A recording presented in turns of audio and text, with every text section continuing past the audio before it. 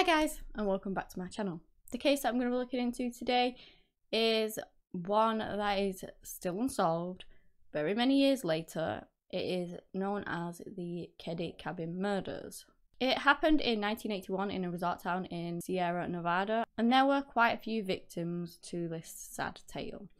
The again one of the worst things is that it's still not been solved after all these years later. It's really really frustrating, but let's get into the case and maybe one day it will be solved. Who knows? I'd just like to say if you do have any suggestions, please do let me know. I, am sorry about not being able to do them as of yet, but I will obviously get around to them when I can.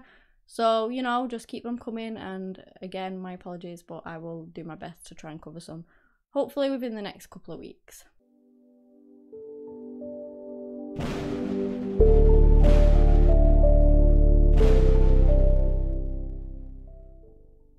So, one of the victims was a mother, and she was called Glenna Susan Sharp, and she went by Sue. So that's how I'm going to refer to her throughout this entire video because that's how she was commonly known. She was born on the 29th of March in 1945. Then you have one of her sons who is called John Sharp. He was born on the 16th of November in 1965. Sue's daughter, Tina Sharp, although you don't initially find out what happened to her straight away, but again, we will get into this and you will find out exactly what happened. She was born on the 22nd of July in 1968. And then we have our final victim who wasn't actually a part of the Sharp family but was John's friend called Dana Wingate, who was born on the 8th of February in 1964. Sue is described as a very shy woman but and very very quiet. And just before obviously all of this horrific incident happened, she had not long since moved her five children down here away from Connecticut where her husband lived, and their relationship had recently ended. He was called James Sharp, and he was, by all accounts, abusive. She was very unhappy in their relationship, and she wanted to leave for quite a while, from my understanding, but she finally did take the plunge and she took the kids and she moved away to start a new life. So she decided on Sierra Nevada, apparently because of her family lived around that area, and so she wanted to be closer to them, and that is why she chose to go around the area in the beginning, money was very tight, and so they did actually live in a trailer.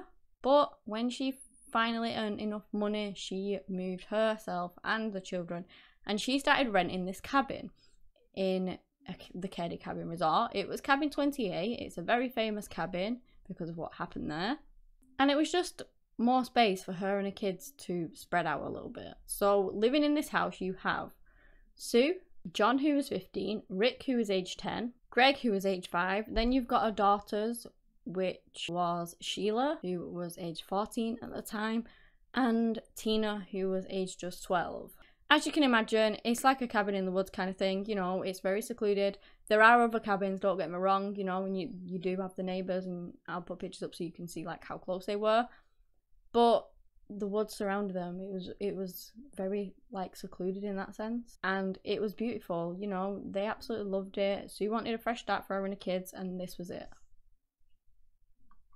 So, we're on the 11th of April in 1981. Sue, accompanied by Sheila, goes to go and pick up John and his friend Dana, and they head back.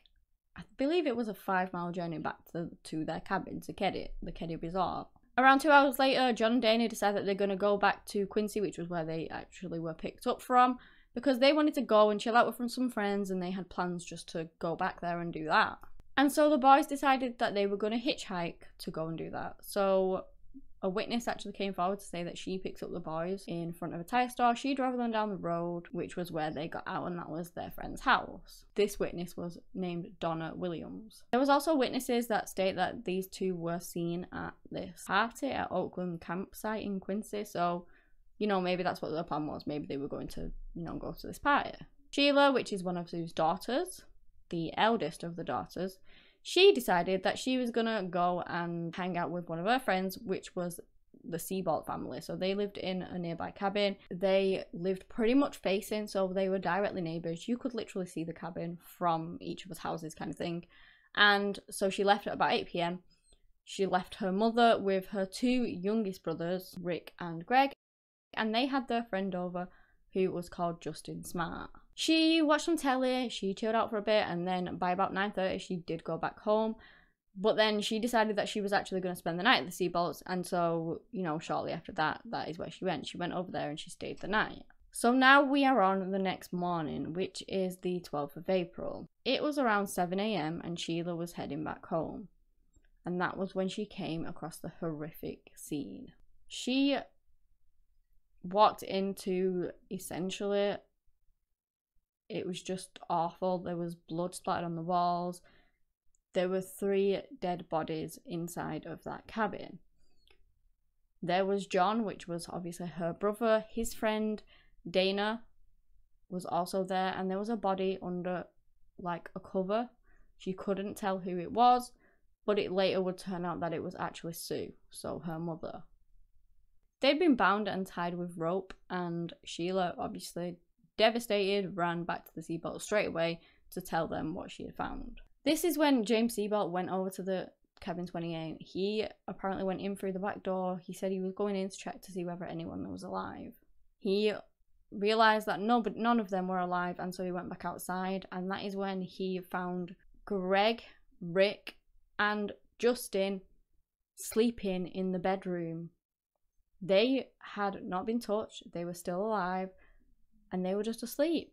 So he quickly gets them out of the window to get them out of there. Probably not wanting to drag them through the living room, that horrific scene. Obviously, you're not going to want to do that. So he pulls them out the window and gets them to safety. Many people did think it odd that these children were still asleep. And I mean, so did I. But I don't, I don't know. Either they saw something or they were just really heavy sleepers and literally slept through everything. Which it is possible, you know.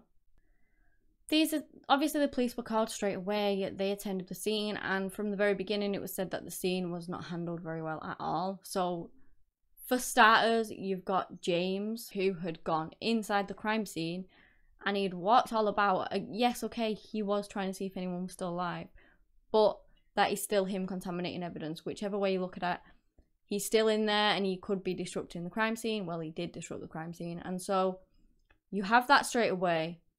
And then the police arrived. They did not cordon it all down and everything. People walked through it a few times before they finally did stop everyone walking through it. And so it was a bit of a mess.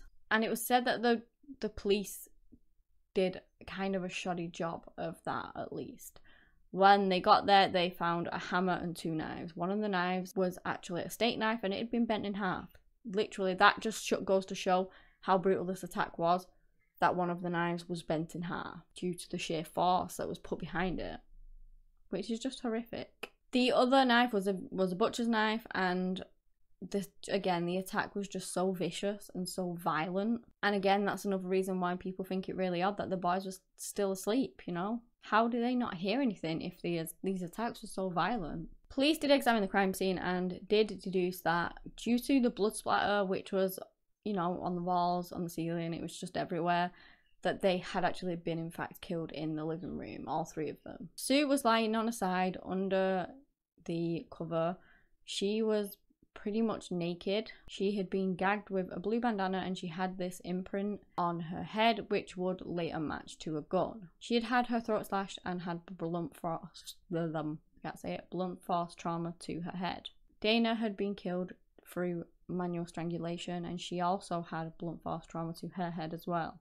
Along with John, they all had blunt force trauma to the head. John's throat had also been slashed, and I believe that the weapon of choice for the blunt force trauma was her hammer, which is just horrific. Police began processing the scene. They found an unidentified fingerprint on a handrail, which I think to this day is still not identified. They also found that all the lights had been turned off, all the curtains had been closed, the phone had been pulled off the hook. Whoever did this didn't want anyone to, you know, see them accidentally notice anything or be able to call them. They just wanted to get it over and done with. At first, it wasn't even really noticed that Tina was missing. Until people did tell the police, but they just didn't seem to care. Like I don't know why, but they didn't. So they didn't take Tina being missing very seriously initially and that is just really frustrating. Police found Tina's jacket in this was missing as well, and the shoebox. And inside the shoebox, it was said that there was these various tools in there, and both of those were missing. Police, of course, interviewed people and they interviewed the, the Seabolt family who said that they didn't hear anything. A couple that did live nearby did say that they were woken up at about half one in the morning by the sound of muffled screaming, but when they went to investigate, they could not find where it was coming from. And by that point, it had already stopped. And so I guess, I don't know, they didn't think much of it. They didn't know where it was coming from, and so they just went back to sleep. I mean, you'd never really assume that somebody was getting murdered, like down, you know, a few doors down from you or something, would you? You just think, what was that? Strange noise. Okay, it's gone now. Go back to sleep. So, Marilyn Smart was Justin Smart's mother. And if you remember, Justin was one of the boys that was staying over that was unharmed. He got out with the other two youngest kids. So his mother Marilyn stated that she actually found this bloody jacket in her basement and she believed that it was Tina's. She stated that she did give that jacket over to the police, but apparently the police have said that there is no record of that ever happening or any record of the jacket. Also, Martin Smart, who was Justin's father, claimed that he had this claw hammer go missing from his household.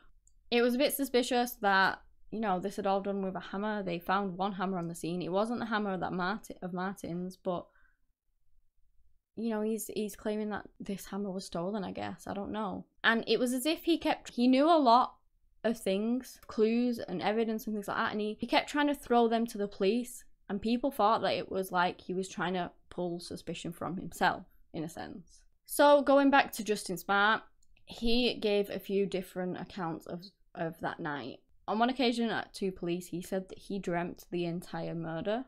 Another time, he said that he had actually witnessed the murders and later, under hypnosis, he said that he actually heard these strange sounds coming from the living room whilst he and the, the two younger boys were in the bedroom watching television. And as a result of hearing these sounds, he goes over to the living room, he takes a peek in, and he sees Sue with two other men. One of them had short hair and this mustache, and the other had long hair with no facial hair whatsoever. He also said that both men were wearing glasses. He stated that this is when Tina and John then came in and they began arguing with these men, and that is when this fight broke out. After the fight happened, he saw Tina being taken out of the cabin by one of these men using the back door, which obviously I've already told you the description of these men. They did make a composite sketch sketch of that and I will put that up for you guys. They described these men in their late 20s or early 30s. One was between 5 foot 11 and, and 6 foot with dark blonde hair and the other was between 5 foot 6 and 5 foot 10 with black greased hair. At this point, they finally started taking Tina being missing seriously. They had the FBI out looking for her. They had everything they could. They were just searching the woods, searching everywhere and they couldn't find her. It actually took years for Tina to be found. On the 22nd of April in 1984, a call came in to Butte County. So that was a completely separate county to where Tina had even gone missing, to where this had all even happened. And so this call comes in from an anonymous person and as a result of that, they actually find Tina's body. This caller stated that the body was there, but the record of this call wasn't actually found until 2013 when this deputy who was actually assigned to the case was looking through this evidence log, this box of evidence, and he came across the tape in the bottom. It had just been kind of left there and sealed and not been touched and just put in a box somewhere and shoved on a cupboard kind of thing. It it was just insane. The caller's identity to this day still remains unknown, but that caller knew something about this. You know, it's highly believed that maybe they could have even done it. Maybe they could have been the perpetrator. And because Tina's body had yet to be found, they just wanted to get, I don't know, maybe their name out in the papers again or something. I don't know, the notoriety, notoriety up.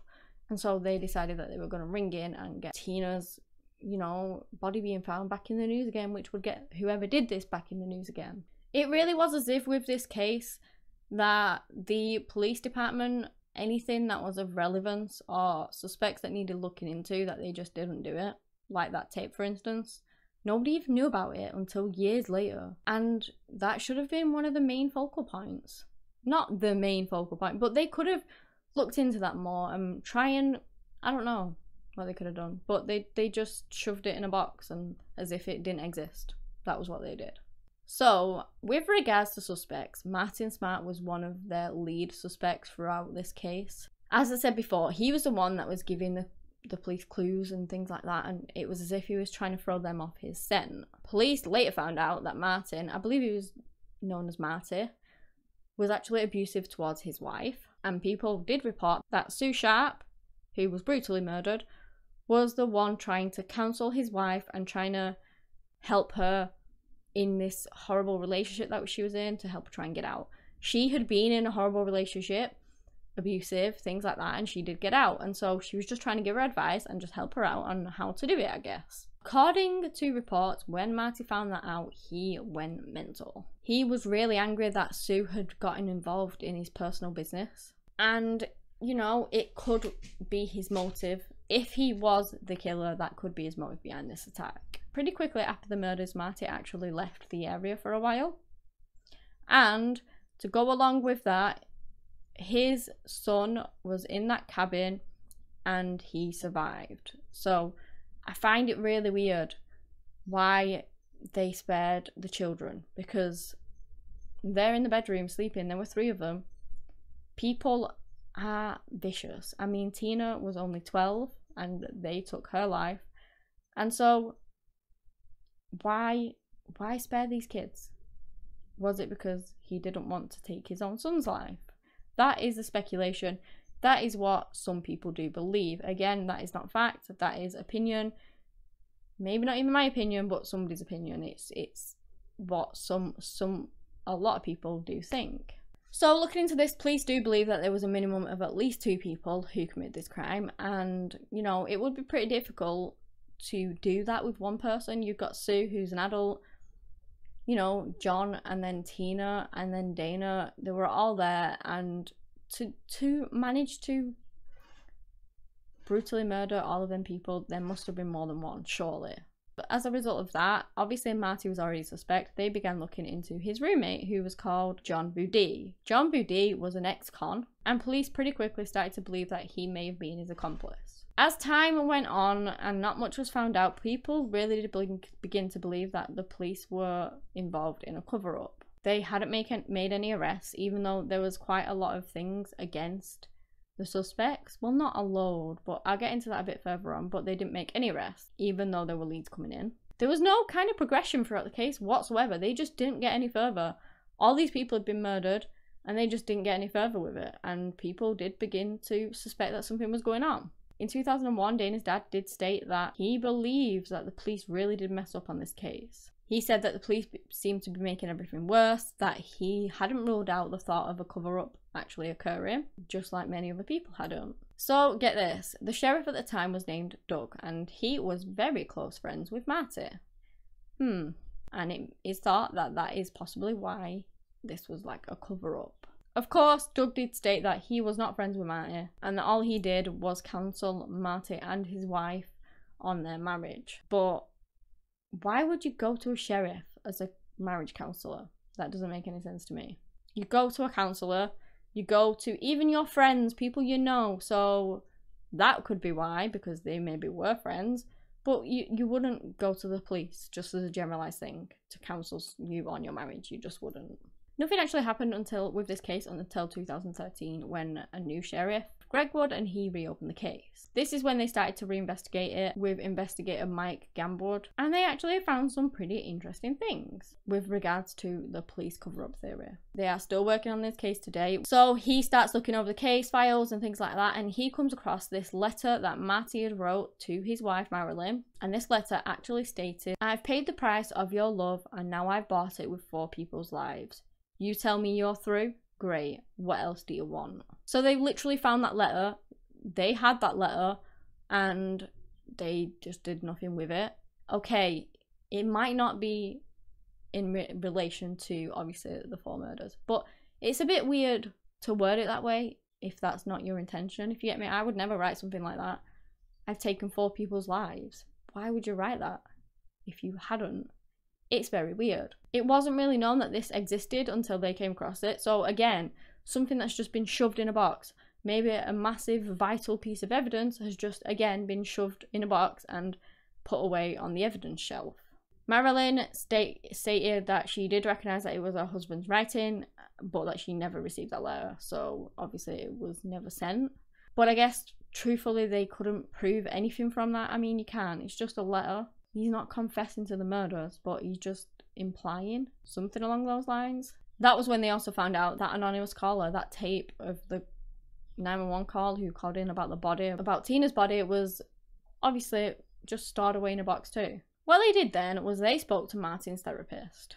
This was one he had in Reno when he moved away for the little while, straight after the murders, I might add. And his therapist claimed that Marty actually confessed to the murders to him. After he received this confession, he did go and report that to the police. But once more, nothing was done about it. He literally, he's wrote it down on a note, kind of. He is there. There's everything is pointing to him. He literally confessed to his therapist. I don't know why you would do that if you didn't do it. The therapist took that to the police and nothing was done about it again. They didn't look into it, they just did nothing. Then in 2014, Cabin 28 was actually tore down because people interested in it were going up, they wanted to see the murder cabin, they were squatting in it, things like that. People were there all the time and they just didn't want that anymore and so they did tear it all down but obviously all the evidence and all of everything is still in the police lockup in March of 2016, a man who was actually metal detecting near a sort of pond actually came across this hammer. It was the hammer that Marty told police had been stolen, had gone missing from his house. Well, it's believed to be that hammer anyway. It matched perfectly to how he was describing it. And it was believed that this hammer was probably used in the murders and then was tossed in the pond, you know, to, to get rid of the evidence. Although I don't really understand that because they didn't try and get rid of any other evidence. Like, if you're going to throw away that hammer, why not throw away the others? Unless, I don't know, they had fingerprints or blood on it or something and they just wanted to get rid of that. Now, this hammer, when it was recovered, was that badly decayed because of the water and, you know, all of the everything on it.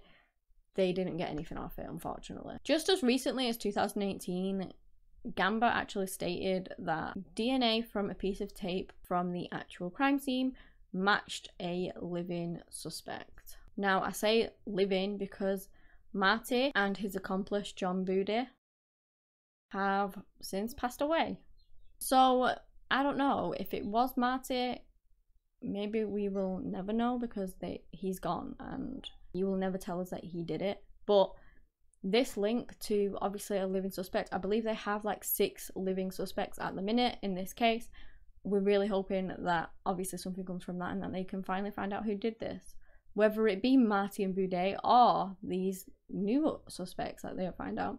I did read literally as as soon as just a couple of months ago that the department, the police department, really do believe that they are very close to solving this case. So that is what I'm really hoping for. You know, we're really hoping for a win on this one. A win. I don't mean a win. I mean to finally get justice for these poor four people that were brutally murdered. It was horrific what happened to them, and they deserve justice. This person or people who did this to them have been free for too long and they need to be caught. They need to go to prison and serve the time that they should have done. They should have been caught a long time ago. Unfortunately, that's not always the case, but that's what you hope for. So I really do hope that this person or these people will finally get caught and the Cabin murders can finally be solved. So yeah, look out for that in the news. I will be keeping myself updated on it. I found this case very interesting. And, you know, I will update you guys if and when this case is solved. Let's hope it's a when. But yeah, that is the end of the case. If you've enjoyed this video, give me a big thumbs up and subscribe to my channel if you are new here. Again, thank you so much for my regulars. I appreciate you. Anyway, guys, that's all I have today on the case of the Keddie Cabin murders. Thank you so much for watching, and until next time, bye.